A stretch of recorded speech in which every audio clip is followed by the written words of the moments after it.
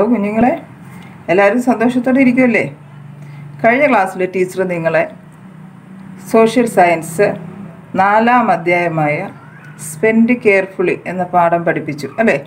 Social സയൻസിൽ ഓർക്കുന്നുണ്ടോ? പഠിച്ചോ എല്ലാവരും? എന്താണ്? കരുതലോടെ ചെലവിടാം എന്ന പാഠം അല്ലേ? എല്ലാവരും ഓർക്കുന്നുണ്ടല്ലോ? നമ്മുടെ വീട്ടിൽ നിത്യം നമ്മൾ കേൾക്കുന്ന കാര്യങ്ങളാണ്. അതായത് വരുമാനവും ചെലവും ഇൻകവും എക്സ്പെൻസും ഇൻകം അപ്പം ഇൻകം നമ്മൾ കഴിഞ്ഞ മാസം എന്തൊക്കെയാണ് പറഞ്ഞത്? ഓർക്കുന്നില്ലേ?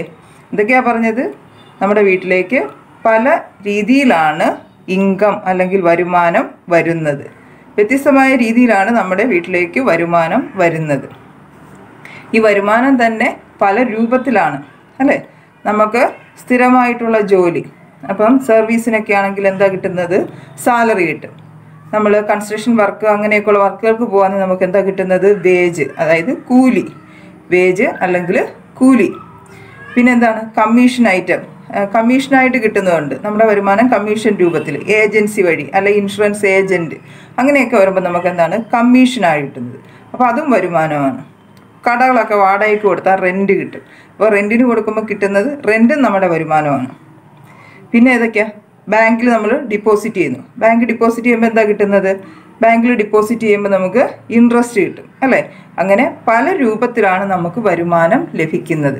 അപ്പോൾ വരുമാനം എന്താണെന്നും നമ്മുടെ കുടുംബത്തിന്റെ വരവ് ചെലവുകൾ എങ്ങനെ കൊണ്ടുപോകണമെന്നും ഒക്കെയുള്ള കാര്യങ്ങൾ നമ്മൾ പഠിച്ചു. ഇന്ന് നമ്മൾ പഠിക്കാൻ പോകുന്നത് അതിനകത്ത് നമ്മൾ ആരൊക്കെ ആയിരുന്നു നമ്മുടെ വീട്ടിലേക്ക് വരുമാനം കൊണ്ടുവരുന്നത് എന്നൊക്കെയുള്ള കാര്യം നമ്മൾ പഠിച്ചായിരുന്നു അല്ലേ? അപ്പം വരുമാനം ഇല്ലാതെ നമ്മൾ ജോലി ചെയ്യുന്നു. അമ്മ അമ്മ നമ്മുടെ വീട്ടിലെ എല്ലാ ജോലിയും ചെയ്യുന്നു. അതിന് വരുമാനം ഇല്ല. അപ്പോൾ അങ്ങനെയുള്ള ജോലികളുമുണ്ട് അപ്പോൾ അതിനെക്കുറിച്ചൊക്കെ നമ്മൾ പഠിച്ചു. ഇന്ന് നമ്മൾ പഠിക്കുന്നത് ഡൈവേഴ്സ് എക്സ്പെൻസ് ആണ്. വ്യത്യസ്ത രീതിയിലാണ് വരുമാനം ലഭിക്കുന്നതെങ്കിൽ വ്യത്യസ്തമായ രീതിയിൽ തന്നെയാണ് എന്ത് ലഭിക്കുന്നത്? എന്ത് പോകുന്നതും? ചെലവുകൾ പോകുന്നതും. അത്യാവശ്യം നമ്മുടെ വീട്ടിൽ നടത്തേണ്ടുന്ന നിത്യച്ചിലവിന് ഡേ ടു ഡേ ചെയ്യേണ്ടുന്ന കാര്യങ്ങളുണ്ട്. നമുക്ക് പിന്നെ അത്യാവശ്യം ഒഴിച്ചുകൂടാൻ പറ്റാത്തതായിട്ടുള്ള ചിലവുകളുണ്ട്. വേണമെങ്കിൽ ഒഴിവാക്കാവുന്ന ചിലവുകളുമുണ്ട്. അല്ലേ? നിങ്ങൾക്ക് എല്ലാ കാര്യങ്ങളും അറിയാം. നമ്മുടെ വീട്ടിൽ നിത്യം ആഹാരം കഴിക്കുന്ന കാര്യം നമുക്ക് ഒഴിവാക്കാൻ പറ്റില്ല. ഒഴിവാക്കാൻ പറ്റുമോ അതിനുള്ള ചിലവ് നമുക്ക് അത്യാവശ്യമുള്ളതാണ്. അതണക്ക് നമുക്ക് വസ്ത്രം. നമുക്ക് ധരിക്കുന്നതിനുള്ള വസ്ത്രം. ഇത് നമുക്ക് അത്യാവശ്യമുള്ള കാര്യമാണ്. അതണക്ക് നമ്മുടെ വിദ്യാഭ്യാസത്തിന്റേത്. പിന്നെ ഏതൊക്കെയാ എന്തൊക്കെയാ ഉള്ളത്?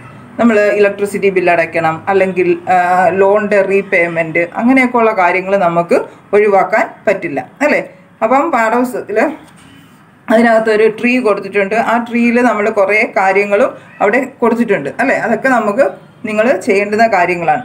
അപ്പോൾ diverse expense the common requirements and personal demand to each members of the family are met with the income generated through different source നമ്മുടെ വീട്ടിലേക്ക് വരുമാനം വരുന്നത് പല മാർഗത്തിലൂടെയാണ്. അപ്പം വ്യക്തികൾക്ക് ഒരു കുടുംബത്തിൽ തന്നെ പലരായിട്ടാണ് ഇത് വരുന്നത്? Income income requirements and personal demands ഓരോ വ്യക്തികൾക്കും ഓരോ ഡിമാൻഡ്സ് അവർക്ക് ഓരോ ആവശ്യങ്ങളുണ്ട്. Each members of the family are met with the income generated through different sources പല വഴിയിൽ നിന്ന് നമുക്ക് ഇൻകം ലഭിക്കുന്നു. അതുപോലെ തന്നെ പല വഴിയിലാണ് പല രീതിയിലാണ് നമുക്ക് ചിലവും വരുന്നത്. all the requirements of the family do not have a equal preference നമ്മുടെ വീട്ടിലുള്ള ചെലവുകൾക്കെല്ലാം ഒരേ പ്രാധാന്യമല്ല കൊടുക്കേണ്ടത് ഈ വരുന്ന ചിലവുകളെല്ലാം ഒരേ പ്രാധാന്യമാണ്. അതിൽ ഇപ്പം നേരത്തെ ടീച്ചർ പറഞ്ഞതുപോലെ അത്യാവശ്യമുള്ള കാര്യങ്ങളുണ്ട്. വേണമെങ്കിൽ നമുക്ക് ഒഴിവാക്കാൻ പറ്റുന്ന കാര്യങ്ങളുണ്ട്. അങ്ങനെയൊക്കെയുള്ള കാര്യങ്ങളുണ്ട്. അതാ പറഞ്ഞ all the requirements of the family do not have a equal preference അപ്പോൾ അതിന് തുല്യ പ്രാധാന്യമല്ല വരുന്നത്.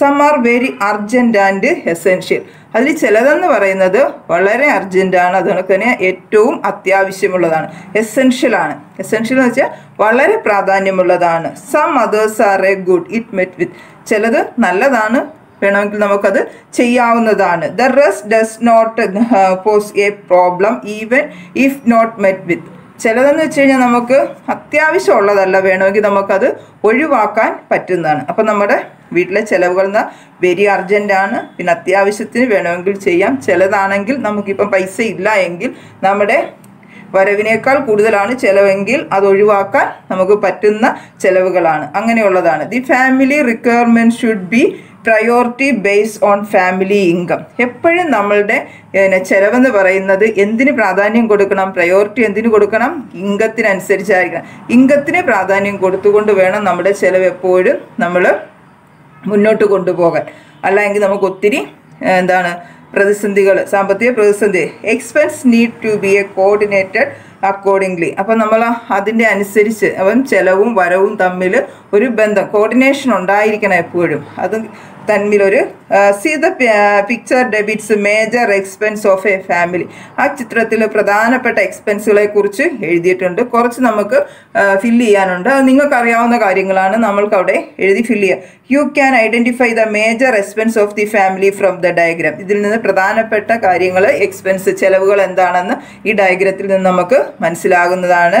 Think of other possible expense of this family and write them down in the space provide അതായത് അത് കൂടാതെ നമ്മൾ കുറേ സ്പേസുകൾ കൊടുത്തിട്ടുണ്ട്. ആ സ്പേസുകളിൽ വേറെയുള്ള ചിലവുകൾ ഏതൊക്കെയാവാം എന്നുള്ള കാര്യം. എന്തൊക്കെ വരാം? ഇതിനകത്ത് കൊടുത്തിരിക്കുന്ന ഏതൊക്കെയാണ്? ട്രീറ്റ്മെന്റ് അത് നമുക്ക് ഒഴിവാക്കാൻ പറ്റത്തില്ല. എന്നും ഉള്ളതല്ല രോഗം വന്നാൽ നമുക്ക് ട്രീറ്റ്മെന്റ് ചെയ്യണം. ട്രീറ്റ്മെന്റ് നടത്തണം. അപ്പം അതിന് പൈസയാവും. അപ്പം എന്താ പർച്ചേസ് ഓഫ് എ ക്ലോത്തിങ് നമുക്ക് അത്യാ ആഡംബരത്തിനുള്ള വസ്ത്രത്തെക്കുറിച്ചല്ല പറയുന്നത്. എങ്ങനെയുള്ള വസ്ത്രത്തെക്കുറിച്ചാണ്? നമുക്ക് അത്യാവശ്യം ധരിക്കുന്നതിനുള്ള വസ്ത്രങ്ങൾ അത് അത്യാവശ്യമുള്ള കാര്യമാണ്. പിന്നെ ട്രാവൽ നമ്മുടെ നിത്യം നമ്മൾ പോകേണ്ടുന്ന കുറേ കാര്യങ്ങളുണ്ട്. അല്ലാതെ ഔട്ടിങ്ങിന് പോകുന്നതൊന്നുമല്ല ഉദ്ദേശിക്കുന്നത്. ട്രാവൽ പിന്നെ ചിലവാകുന്ന ലോൺ റീപേയ്മെന്റ് ലോണിന്റെ തിരിച്ചടവ്.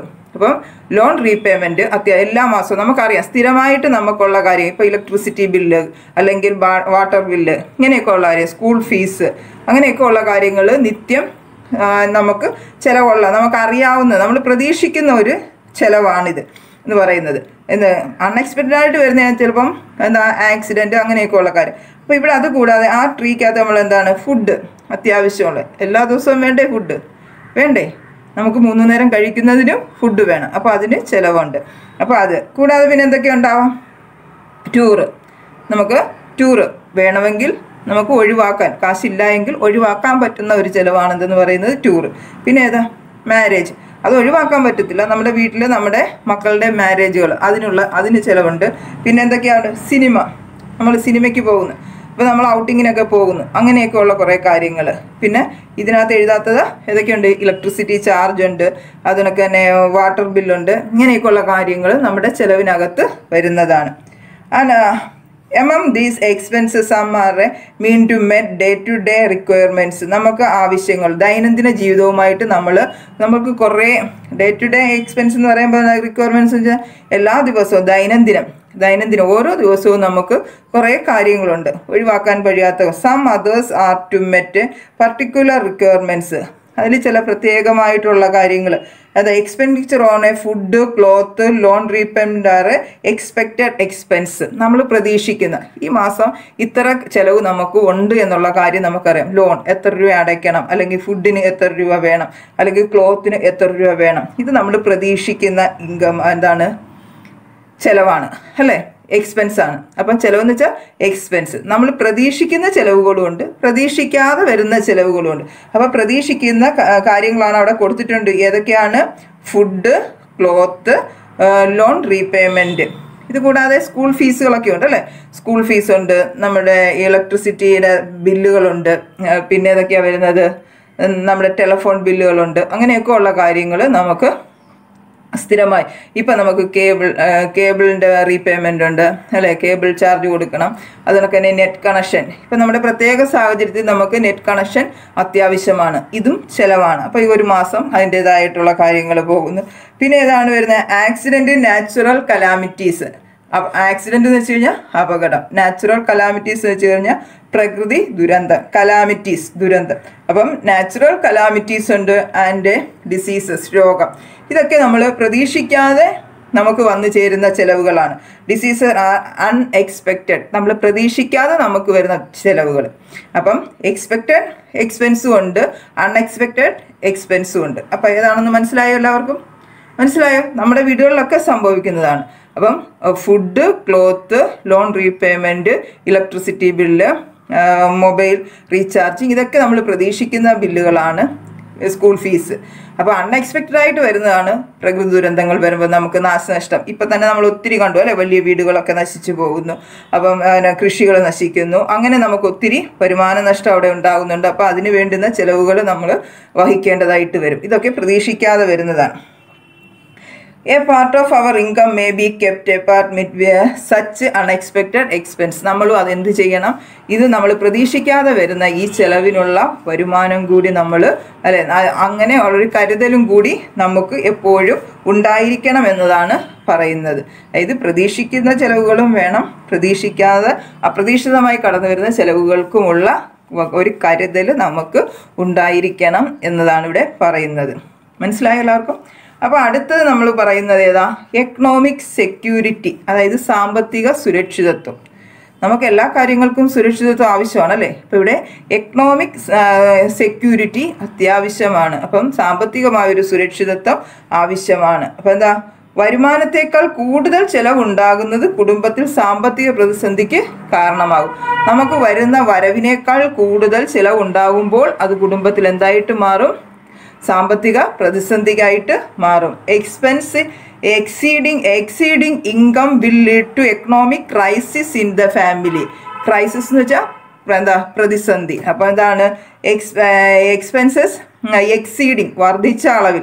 വർദ്ധിച്ച അളവിൽ എക്സ്പെൻസ് ഏതാണ്? ഇംഗത്തേക്കാൾ കൂടുതലായിട്ട് വരുമ്പോൾ അവിടെ എന്തുണ്ടാകുന്നു സാമ്പത്തിക പ്രതിസന്ധി ഉണ്ടാകുന്നു when expense are less than income they will be surplus അപ്പോൾ എന്താ അവിടെ വരുന്നത്? എന്നാൽ ചെലവ് വരുമാനത്തേക്കാൾ കുറവാകുമ്പോൾ മിച്ചമുണ്ടാവുകയും ചെയ്യും. അപ്പം ഇതാണ് ചെലവ് വരുമാനത്തേക്കാൾ കുറവാകുമ്പോൾ അവിടെ മിച്ചമുണ്ടാകുന്നു ചെലവെന്ന് പറയുന്നത് വരുമാനം കൂടുതലാണ് ചെലവ് കുറവാണ്. അപ്പം ബാലൻസ് വരുന്ന നമുക്ക് മിച്ചം പിടിക്കാനായിട്ട് സേവ് ചെയ്യാൻ. അപ്പം when expense are less than income this will be surplus this surplus is the saving of the family ആ സർപ്ല അധികമായി സർപ്ലസ് എന്ന് വെച്ചാൽ അധികമായി. ആ അധികമായി വരുന്നതെയാണ് നമുക്ക് സേവിങ് ആയിട്ട് മാറുന്നത്. Saving play vital role in economic security അപ്പോൾ ഈ സേവിങ്ങിന് നമ്മുടെ എക്കണോമിക് സെക്യൂരിറ്റിയിൽ വളരെ വലിയൊരു പങ്കാണ് ഉള്ളത്. Economic security means maintain higher standard of living and the ability to met expense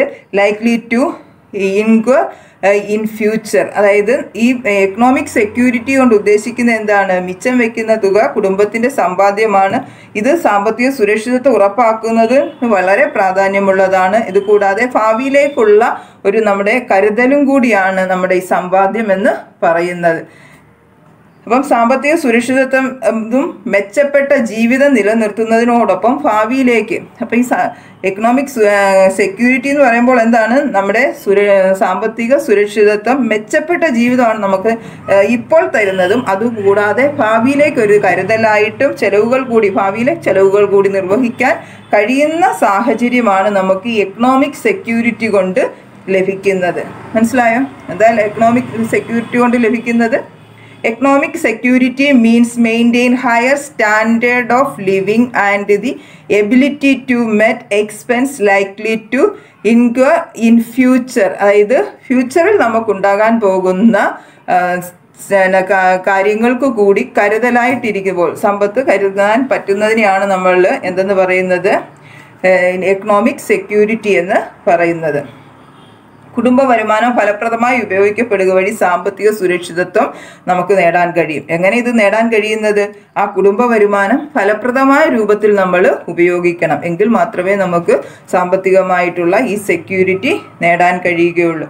അപ്പം we can attain economic security through better management of a family income better management of family income നല്ല രീതിയിൽ family income manage ചെയ്തെങ്കിൽ മാത്രമേ നമുക്ക് economic security നിലനിർത്താൻ പറ്റുകയുള്ളൂ. അപ്പം economic security കൊണ്ട് ഉദ്ദേശിക്കുന്നത് എന്താണ്? ഇപ്പോഴത്തെ നല്ല ഒരു ജീവിതവും അതുകൂടാതെ ഭാവിയിൽ ഉണ്ടാകാൻ പോകുന്ന കാര്യങ്ങൾക്കുള്ള ഒരു സേവിങ്ങുമായിട്ട് അതും കൂടി ചെയ്യാൻ പറ്റുന്ന തരത്തിലാവുന്നതിനെയാണ് നമ്മളെന്ത് പറയുന്നത്? എക്കണോമിക് സെക്യൂരിറ്റി എന്ന് പറയുന്നത്. അപ്പോൾ അവിടെ following three states can be observe and examine the income and expense of family നമ്മുടെ കുടുംബത്തിന്റെ വരുമാനം. ഇപ്പം നിങ്ങൾക്ക് തന്നെ ഇപ്പം ഈ പറഞ്ഞതിൽ നിന്ന് ഏത് തരത്തിലാണ് നമ്മുടെ വരുമാനമെന്ന് നമുക്ക് കണ്ടെത്താൻ പറ്റും അല്ലേ? അതായത് ഏത് ഇപ്പം മൂന്ന് ഗ്രൂപ്പ് ഇവിടെ പറഞ്ഞിട്ടുണ്ട്. ഇത് മൂന്ന് ഗ്രൂപ്പിൽ നമ്മൾ ഏത് വിഭാഗത്തിലാണ് നമ്മുടെ ഇപ്പോഴത്തെ ഇൻകം അതായത് നമ്മൾ എക്കണോമിക് സെക്യൂരിറ്റിയിലാണോ എന്ന് മനസ്സിലാക്കാൻ പറ്റുന്ന രീതിയിൽ അവിടെ പറഞ്ഞിട്ടുണ്ട്. അപ്പോൾ കുടുംബ വരുമാനവും ചെലവും നോക്കിയാൽ താഴെ പറയുന്ന മൂന്ന് അവസ്ഥ കാണാവുന്നതാണ്. ഇപ്പം നമ്മുടെ ചുറ്റുപാടും ഉള്ളതിൽ ഈ മൂന്ന് അവസ്ഥയിലുള്ള ആളുകളെയും നമുക്ക് കാണാം. അപ്പം നമുക്ക് നമ്മുടെ ചുറ്റുപാടും അല്ലെ നമ്മളും ഇതിലേതിൽ പെടുന്നു എന്ന് നമുക്ക് തിരിച്ചറിയാനായിട്ട് കഴിയും. അപ്പോൾ അവിടെ എന്താ പറഞ്ഞിരിക്കുന്നത് expense and income are equal expense and income are equal അവിടെ എക്സ്പെൻസും ഇൻകവും തുല്യമാണ്. ഒരു കുടുംബത്തിന്റെ അവസ്ഥയാണ്. നൂറ് രൂപ കിട്ടുന്നു നൂറ് രൂപ തന്നെ ചിലവാകുന്നു. അല്ലെങ്കിൽ ആ കുടുംബത്തിൽ ആയിരം രൂപയാണ് വരവുള്ളത്. അല്ല ആ ആയിരം രൂപ തന്നെ ചിലവാകുന്നു. അവരുടെ കയ്യിൽ വരവ് കഴിഞ്ഞിട്ട് കാര്യങ്ങളൊക്കെ നടക്കുന്നു. പിന്നൊന്നും സമ്പാദിക്കാനായിട്ട് അവിടെ വരുന്നില്ല. അവിടെ മെച്ചം മിച്ചം പിടിക്കാനായിട്ടൊന്നും കിട്ടുന്നില്ല. അപ്പം ആ കുടുംബം സെക്യൂർ ആണോ? എന്താ എക്കണോമിക് സെക്യൂരിറ്റി ഉണ്ടോ? ഇല്ല. അതിനൊക്കെ തന്നെയാണ് ഇൻകം മോർ ദാൻ എക്സ്പെൻസ് എന്താണ് വരുമാനം കൂടുതലാണ് ചെലവ് കുറവ്. നമ്മൾ നേരത്തെ പറഞ്ഞ എക്കണോമിക് സെക്യൂരിറ്റി ഉള്ള കുടുംബമാണ് എന്തെന്ന് പറഞ്ഞത്? മോർ ദാൻ അല്ലെ ഇൻകം മോർ ദാൻ എക്സ്പെൻസ് എക്സ്പെൻസിനേക്കാൾ കൂടുതൽ ഇൻകം ഉണ്ട്. അവിടെ എന്താണ്? ചെലവ് കഴിഞ്ഞിട്ട് അവർക്ക് മിച്ചം പിടിക്കാനുള്ള അവസ്ഥയുണ്ട്. അപ്പം ഭാവിയിലേക്ക് അത് ഇൻവെസ്റ്റ് ചെയ്യാം. ഇൻവെസ്റ്റ് ചെയ്യാൻ പറ്റുന്നു. സമ്പാദ്യം സേവിങ്സ് ഉണ്ടാകുന്നു. അപ്പോൾ ആ കുടുംബത്തിന് സേവിങ്സ് ഉണ്ട്. അത് എക്കണോമിക് സെക്യൂരിറ്റി ഉള്ള കുടുംബമാണ്. സാമ്പത്തിക സുരക്ഷിതത്വമുള്ള കുടുംബമാണ് ആ രണ്ടാമത് പറഞ്ഞിരിക്കുന്നത്. മൂന്നാമത്തതിനകത്ത് ഇൻകം ലെസ് ദാൻ എക്സ്പെൻസ് ചെലവിനേക്കാൾ കൂടുതലാണ് വരവ്. ചെലവ് ആയിരം രൂപയേ ഉള്ളൂ. അല്ലേ? അല്ല വരവ് ആയിരം രൂപയേ ഉള്ളൂ. ചിലവ് ആയിരത്തി അഞ്ഞൂറ് അപ്പോൾ അവിടെ കടവാണ് വരുന്നത്. അപ്പോൾ അവിടെ എക്കണോമിക് സെക്യൂരിറ്റി ഇല്ല. അപ്പം ഇൻകം ലെസ് ദാൻ എക്സ്പെൻസ് വരവിന് വരവ് ചെലവിനേക്കാൾ കുറവാണ്. വരവ് ചെലവിനേക്കാൾ കുറവാണ്. അതുകൊണ്ട് തന്നെ അവിടെ എക്കണോമിക് സെക്യൂരിറ്റി ഇല്ല. ഭാവിയിലേക്ക് അന്ന് അപ്പോഴത്തെ കാര്യങ്ങൾ തന്നെ നല്ല രീതിയിൽ കൊണ്ടുപോകാൻ പറ്റുന്നില്ല. അതുകൂടാതെ ഭാവിയിലെ കാര്യങ്ങളും കൂടി അതിൽ നിന്ന് അഡ്ജസ്റ്റ് ചെയ്യാൻ പറ്റില്ല. അപ്പോൾ അവിടെ അത് എക്കണോമിക് സെക്യൂരിറ്റി ഇല്ലാത്ത കാര്യമാണ്. അപ്പോൾ അവിടെ ചോദിച്ച് അതിന്റെ തന്നെ അവിടെ കൊടുത്തിട്ടുണ്ട്. In which in which conducts can be have a surplus അതായത് അവിടെ വരുമാനം മിച്ചം വെക്കാൻ കഴിയുന്നതിൽ ഇത് ഏത് അവസ്ഥയിലാണ് അപ്പോൾ അവിടെ ചോദിച്ചേക്കുന്നത് in which conduct can be have surplus നമുക്ക് മിച്ചം വെക്കാൻ കഴിയുന്ന ഏതാ? അതിലാ രണ്ടാമത് പറഞ്ഞിരിക്കുന്നത്. ഏതാ? ഇൻകം മോർ ദാൻ എക്സ്പെൻസ് ഇതിനകത്താ വരുന്നത്? ഇൻകം മോർ ദാൻ എക്സ്പെൻസ് വരുമാനം മിച്ചം വെക്കാൻ കഴിയുന്നതിൽ ഇത് ഇതിൽ ഏതവസ്ഥയിലാണ്? ഏതവസ്ഥയിലാണ് വരുമാനം കൂടുതലും ചെലവ് കുറവുമുള്ള സ്ഥലത്താണ് മിച്ചം പിടിക്കാനായിട്ട് സർപ്ലസ് അധികമായിട്ട് സമ്പാദിക്കാൻ നമുക്ക് പറ്റുന്നത്. സംശയമുണ്ടോ? അല്ലേ? അങ്ങനെയല്ലേ വരുന്നത്. അപ്പോൾ അത് കണക്ക് തന്നെ. അടുത്തത് സാമ്പത്തിക സുരക്ഷിതത്വം സാധ്യമാക്കാൻ സഹായിക്കുന്ന അവസ്ഥ ഏതാണ്? സാമ്പത്തിക സുരക്ഷിതത്വം നമ്മൾ എങ്ങനെയാണ്? അപ്പോൾ അവിടെ എങ്ങനെ ചെയ്യാൻ പറ്റും? ചെലവ് നിയന്ത്രിക്കുന്നത് വഴിയെ നമുക്ക് എന്താണ്? കൺട്രോൾ ഓഫ് എക്സ്പെൻസ് അപ്പം ചെലവ് നിയന്ത്രിക്കുക. അപ്പം എക്സ്പെൻസ് നിയന്ത്രിച്ചാൽ മാത്രമേ നമുക്ക് അവിടെ എന്താ ചെയ്യാൻ പറ്റത്തുള്ളൂ. ഈ സാമ്പത്തിക സുരക്ഷിതത്വം അത് ഈക്വൽ ആക്കാനായിട്ട് അല്ലെ സാമ്പത്തിക സുരക്ഷിതത്വം നിലനിർത്താൻ പറ്റുകയുള്ളൂ. It is desirable to control expense for a ensuring economic security അമിതമായ ചെലവുകൾ നിയന്ത്രിക്കുന്നത് സാമ്പത്തിക സുരക്ഷിതത്വത്തിന് ഗുണകരമാണോ? ആണോ? അമിതമായി നമുക്കുണ്ടാകുന്ന അമിതമായി വേണ്ടാത്ത ചെലവുകളൊക്കെ നിയന്ത്രിക്കുന്നത് സാമ്പത്തിക സുരക്ഷിതത്വത്തിന് ഉപകരിക്കുമോ ഉപകരിക്കുമോ ഉപകരിക്കും അല്ലേ? തീർച്ചയായിട്ടും ഉപകരിക്കും. നമുക്ക് അത്യാവശ്യമുള്ളത് നമ്മുടെ ആവശ്യങ്ങൾ നമുക്ക് നിറവേറ്റണം. നമുക്ക് പിന്നെ ചെയ്യാൻ ചെയ്താൽ നല്ലതെന്നുള്ള കാര്യങ്ങൾ ചെയ്യണം. പക്ഷേ നമുക്ക് ഒഴിവാക്കാൻ പറ്റുന്നതാണെങ്കിൽ നമ്മൾ നമുക്ക് ഒഴിവാക്കി അത്യാവശ്യമൊന്നുമില്ല എന്നുണ്ടെങ്കിൽ നമുക്കത് ഒഴിവാക്കാം. അങ്ങനെ നമുക്ക് എന്ത് ചെയ്യാൻ പറ്റും? എക്കണോമിക് സെക്യൂരിറ്റി നേടിയെടുക്കാനായിട്ട് കഴിയും. ഇത്രയും കാര്യങ്ങളാണ് പറഞ്ഞിരിക്കുന്നത്. എല്ലാവർക്കും മനസ്സിലായല്ലോ? അതിനകത്ത് എന്തൊക്കെയാണ് പറഞ്ഞിരിക്കുന്നത്? Expense and income are equal income more than expense income less than expense അപ്പോൾ അങ്ങനെയുള്ള ഫാമിലികളെ കുറിച്ചാണ് പറഞ്ഞിരിക്കുന്നത്. ഇതിൽ ഏത് ഫാമിലിയിൽ പെടും നമ്മൾ അതായത് വരുമാനവും ചെലവും തുല്യമായിട്ടുള്ളതിലാണോ? വരുമാനം കൂടുതലും ചെലവ് കുറവുമാണോ? വരുമാനം കുറവും ചെലവ് കൂടുതലുമാണോ? ഇതിലേതിലാണ് നമ്മൾ പെടുന്നത്? പഠിച്ചതിൽ നിന്ന് നിങ്ങൾക്ക് എന്ത് മനസ്സിലായി? അപ്പം സാമ്പത്തിക സുരക്ഷിതത്വം ഉള്ള ഉണ്ടോ? ഇല്ല എങ്കിൽ നമ്മൾ അതിനെന്ത് ചെയ്യണം? എന്താ ചെയ്യേണ്ടുന്നത്? നമുക്ക് അത്യാവശ്യമില്ലാത്ത ചിലവുകൾ നമ്മൾ ഒഴിവാക്കണം. അപ്പോൾ അങ്ങനെ നമുക്ക് അതിൽ നിന്ന് നേട്ടം ഉണ്ടാക്കാം. അതിനൊക്കെ തന്നെ അടുത്തത് എന്താ? ഹാബിറ്റ് ഓഫ് ത്രിഫ്റ്റ് ത്രിഫ്റ്റ് എന്ന് വെച്ച് കഴിഞ്ഞാൽ മിതവ്യയം. അതായത് സമ്പാദ്യശീലം തന്നെയാണ് ത്രിഫ്റ്റ് മിതമായി ചിലവാക്കി നമ്മൾ സമ്പാദിക്കുന്നത് മിതവ്യയം. അപ്പം ഹാബിറ്റ് ഓഫ് ത്രിഫ്റ്റ് എങ്ങനെ വായിക്കുന്നത് ത്രിഫ്റ്റ് അപ്പം മിതവ്യയം മിതവ്യയ ശീലമാണ് അവിടെ പറഞ്ഞിരിക്കുന്നത്. ഇപ്പോൾ ഒരു ഗാന്ധിജിയുടെ പടമൊക്കെ കൊടുത്തിട്ടുണ്ട്. ഗാന്ധിജി പറയുന്നത് എന്താണ്? നമുക്ക് എല്ലാവരുടെയും നമുക്ക് എല്ലാവരുടെയും ആവശ്യങ്ങളെ തൃപ്തിപ്പെടുത്താനുള്ളത് ഇവിടെയുണ്ട്. പക്ഷേ എന്നാൽ ഒരാൾക്ക് പോലും അത്യാഗ്രഹത്തെ നിറവേറ്റാൻ ഇല്ലതാനും. ഒരാളുടെ പോലും അത്യാഗ്രഹം. എല്ലാം ഗാന്ധിജിയുടെ വാക്കാണ് പ്രശസ്തമായ വാക്കാണ്. ഈ ഇവിടെ നമുക്ക് നമുക്ക് എല്ലാവർക്കും ഉള്ള വകയുണ്ട്. പക്ഷേ ഒരാളുടെ പോലും അത്യാഗ്രഹത്തിനുള്ള വകയില്ല എന്നാണ് ഗാന്ധിജി പറഞ്ഞിരിക്കുന്നത്. The world has enough for every one's need but not enough for every one's greed greed അത്യാഗ്രഹമാണ്. അതാണ് ഗാന്ധിജിയുടെ വാക്കുകളാണ്. എന്തിനെക്കുറിച്ച്? എല്ലാവർക്കും ഈ ലോകത്ത് എല്ലാവർക്കും ഉള്ള വക ഈ ലോകത്തുണ്ട്. പക്ഷെ ഒരാളുടെ പോലും അത്യാഗ്രഹത്തിനുള്ള വക ഈ ലോകത്ത് ഇല്ല എന്നാണ് ഗാന്ധിജിയുടെ അഭിപ്രായം. Nowadays several products are available in the market ഇന്നത്തെ കാലത്ത് നമുക്ക് മാർക്കറ്റിൽ ഒത്തിരി പ്രോഡക്റ്റുകൾ കിട്ടും അല്ലേ? നമ്മൾ സാധനം മേടിക്കുന്നത് എങ്ങനെയാണ് അതിന്റെ ഗുണവില നിലവാരം നോക്കിയിട്ടാണോ നോക്കുന്നത്? അതല്ല പരസ്യം നോക്കിയിട്ട് പരസ്യത്തിൽ പറയുന്ന കാര്യങ്ങൾ വെച്ചിട്ട് നമ്മൾ പോയി വാങ്ങും. ഇപ്പം നമുക്ക് അത്യാവശ്യമുള്ള നമ്മൾ ഫുഡിന്റെ കാര്യം പറഞ്ഞു. നമ്മൾ അത്യാവശ്യമുള്ള കാര്യം മേടിച്ചിട്ട് വരുമല്ലോ ഇപ്പം നമ്മൾ സൂപ്പർ മാർക്കറ്റിലൊക്കെ പോയാൽ ഇപ്പം നമുക്ക് സൂപ്പർ മാർക്കറ്റിലൊന്നും അങ്ങനെ പോകാൻ പറ്റുന്നില്ല. പോകാൻ പറ്റുന്ന സമയത്ത് നമ്മൾ എന്ത് ചെയ്യും? അവിടെ ചെന്നിട്ട് കാണുന്നതും ആ ടി വിയിൽ കണ്ട കാര്യങ്ങളും ഒക്കെ ഓർത്തിട്ട് വേണ്ട എങ്കിലും നമ്മളത് പരീക്ഷിക്കാനായിട്ട് എടുക്കും അല്ലേ? അപ്പോൾ അതിന്റെ വരവ് കൂടുതലായി പോവുകയും ചെയ്യും. അപ്പോൾ നമ്മൾ വരവിനെ അനുസരിച്ച് the there are a advertisement persuading people to buy them products ജനങ്ങൾ അഡ്വർടൈസ്മെന്റ് അഡ്വർടൈസ്മെന്റ് എന്ന് വെച്ചാൽ എന്താ? പരസ്യം. പരസ്യങ്ങളെ ആശ്രയിച്ച് അതിനെ പിന്തുടർന്ന് പെർസ്വേഡിങ് അതിന്റെ പിന്തുടർച്ചയായിട്ട് നമ്മൾ സാധനങ്ങൾ വേണ്ടാത്തതും വാങ്ങിക്കൂട്ടുന്നു. Product influenced by advertisement we purchase excessively and this led to increase expense അപ്പം നമ്മൾ പരസ്യത്തെ ആശ്രയിച്ച് അതിന്റെ പിന്നാലെ പോയിട്ട് നമ്മൾ എന്തിൽ ചെന്നുപെടുന്നു നമ്മുടെ ചെലവ് കൂടുതലായി പോകുന്നു എന്ന കാര്യമാണ് അവിടെ പറഞ്ഞിരിക്കുന്നത്. നമ്മൾ അഡ്വർടൈസ്മെന്റ് പരസ്യത്തിന്റെ പിന്നാലെ പോകാതെ നമുക്ക് ആവശ്യമുള്ള കാര്യങ്ങൾ നമ്മൾ എടുക്കുക എന്നതാണ് ഈ പാഠത്തിൽ നിന്ന് നമ്മൾ പഠിക്കുന്നത്. അപ്പം വിവേകപൂർവം നമ്മൾ ഈ കാര്യങ്ങൾ ഉപയോഗിക്കുകയാണെങ്കിൽ നമുക്ക് നമ്മുടെ കാര്യങ്ങൾ നമ്മുടെ വരവ് നമുക്ക് നിയന്ത്രിക്കാൻ പറ്റണം. അപ്പോൾ എന്താണ്? വിവേകപൂർവം ഗുണമേന്മയുള്ള പരസ്യത്തെ ആശ്രയിച്ചല്ല വിവേകപൂർവവും എന്താണ്? ഗുണമേന്മയുള്ള വസ്തുക്കൾ ആവശ്യ വസ്തുക്കൾ നമ്മൾ വാങ്ങണം. നമുക്ക് ആവശ്യമുള്ളത് ഒഴിവാക്കാൻ പറ്റാത്ത കാര്യങ്ങളുണ്ട് അത് നമുക്ക് വാങ്ങാൻ കഴിയണം. ആവശ്യങ്ങൾ നിറവേറ്റുന്നതിന് ഫലപ്രദമായി വരുമാനം ചെലവാക്കുന്ന സ്വഭാവ സവിശേഷതയാണ് മിതവ്യയശീലം. എന്താ പറയുന്നത്? മിതവ്യയശീലം എന്ന് പറയുന്നത് എന്താ?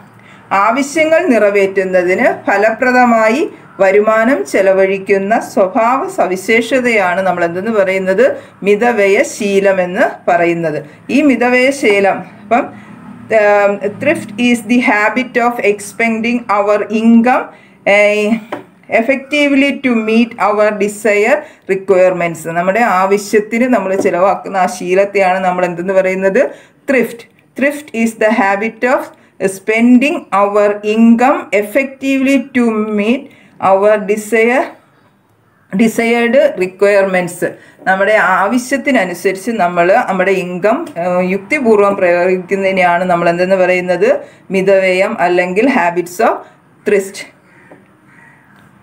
thrift thrift should be a part of our life style ഈ ത്രിഫ്റ്റ് എന്ന് പറയുന്നത് നമ്മുടെ ജീവിതത്തിന്റെ ഒരു ഭാഗമാക്കണം. അതായത് മിതവ്യയം. എല്ലാം മിതമായിട്ട് ഉപയോഗിക്കുക എന്നത് നമ്മുടെ ജീവിതത്തിന്റെ ഭാഗമാക്കണം. Thrift help to ensure economic security അപ്പം thrift help to ensure economic security ഈ മിതവ്യയം നമുക്ക് എന്ത് ഉറപ്പ് തരുന്നുണ്ട്? നമ്മുടെ എക്കണോമിക് സെക്യൂരിറ്റിക്ക് സഹായിക്കും. നമുക്ക് എക്കണോമിക് സെക്യൂരിറ്റി എക്കണോമിക് സെക്യൂരിറ്റി എന്താ നമ്മൾ പഠിച്ചതേ ഉള്ളൂ അല്ലേ? അപ്പോൾ ആ എക്കണോമിക് സെക്യൂരിറ്റിക്ക് അത് നമ്മുടെ വരവ് ചെലവിനേക്കാൾ അല്ലേ കൂടുതലാണ്. അപ്പോൾ അവിടെ നമുക്ക് മെച്ചം പിടിക്കാനായിട്ട് വരവെന്ന് പറയുന്നത് ചിലവ് കുറവും വരവ് കൂടുതലും അപ്പോൾ അധികമായി കിട്ടുന്നത് നമുക്ക് സേവ് ചെയ്യാൻ പറ്റും. ഈ സേവ് ചെയ്യുന്നതിനെയാണ് നമ്മൾ അവിടെ എക്കണോമിക് സെക്യൂരിറ്റി ആക്ക് പറ്റും. Simple life style is essential for thrift അപ്പോൾ ത്രിഫ്റ്റിന് എന്ത് വേണം? സിമ്പിൾ ലൈഫ് സ്റ്റൈൽ വേണം. ലളിതമായ ജീവിത രീതിയാണ് ത്രിഫ്റ്റിന് അത്യാവശ്യമായിട്ട് വേണ്ടുന്നത്. അപ്പോൾ അവിടെ ഒരു ചോദ്യമുണ്ട്. ആ ചോദ്യത്തിന്റെ മൂന്ന് പോയിന്റുകളാണ് a brief note about thrift a brief note about a thrift thrift എന്താണെന്നുള്ള ചോദ്യം. അപ്പം thrift is the habit of spending our income effectively to meet our desired requirements അതുകൂടാതെ അടുത്ത പോയിന്റ് ആയിട്ട് എഴുതണം. Thrift help to ensure economic security അടുത്ത point ആയിട്ട് എഴുതണം. Simple life style is essential for thrift അപ്പോൾ അത് തന്നെയാണ് അവിടെ. ആവശ്യങ്ങൾ നിറവേറ്റുന്നതിന് ഫലപ്രദമായി വരുമാനം ചെലവഴിക്കുന്ന സ്വഭാവ സവിശേഷതയാണ് മിതവ്യയശീലം. ജീവിത സാമ്പത്തിക സുരക്ഷിതത്വത്തിന് മിതവ്യയശീലം സഹായിക്കും. ലളിത ജീവിതം മിതവ്യയശീലത്തിന് അനിവാര്യമാണ്. ഈ പോയിന്റുകളാണ് ആ ക്വസ്റ്റ്യൻ എഴുതേണ്ടത്. അതായത് മിതവ്യയം എന്ത് എന്നുള്ളതിന് മൂന്ന് പോയിന്റായിട്ട് എഴുതേണ്ടത്. അപ്പം മിതവ്യയ കുടുംബത്തിലെ എല്ലാ അംഗങ്ങളും ശീലമാക്കണം കുടുംബത്തിലുള്ളവരെല്ലാം എന്ത് ചെയ്യണം? ഈ ത്രിഫ്റ്റ് ഫോളോ ചെയ്യേണ്ടുന്നതാണ് അതായത് നമ്മുടെ ചെലവുകൾ ചുരുക്കേണ്ടുന്നതാണ് all members of a family should practice thrift അപ്പം കുടുംബത്തിലുള്ള എല്ലാവരും ത്രിഫ്റ്റ് പ്രാക്ടീസ് ചെയ്യണം. As a student what can you do ensure thrift നമുക്കൊരു വിദ്യാർത്ഥി എന്ന നിലയിൽ നമുക്കതെങ്ങനെ ചെയ്യാൻ പറ്റുമെന്നുള്ളതാണ്. അപ്പോൾ അവിടെ എന്തെല്ലാം കാര്യം പറഞ്ഞിട്ടുണ്ട്? അപ്പം ആഡംബര വസ്തുക്കൾ ഉപേക്ഷിക്കാം അല്ലേ?